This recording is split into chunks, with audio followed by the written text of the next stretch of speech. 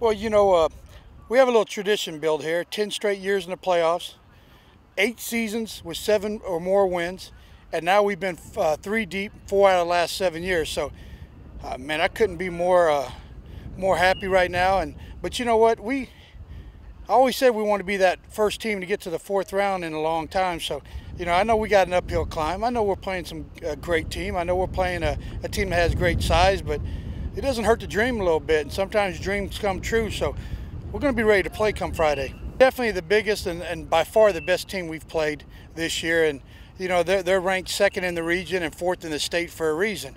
They got a free safety going to Mississippi. Quarterback, I believe, is going to Texas Tech. They've got some huge defensive tackles.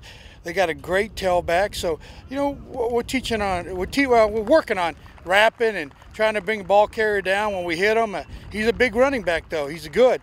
And their defense flies to the ball. So, uh, at the Weslaco East, you know, we're going to try to get those three yards and keep those chains moving. Yeah, all the greats from here, where they've been to the third round, and they talk about how great the teams they play.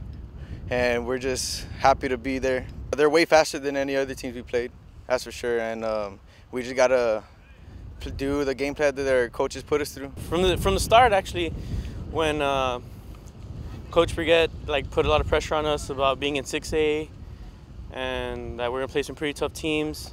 It feels great being underdogs, honestly. I like I like the feeling. I know the guys like the feeling of being underdogs. I mean, when you get doubted and prove everybody wrong, it feels great.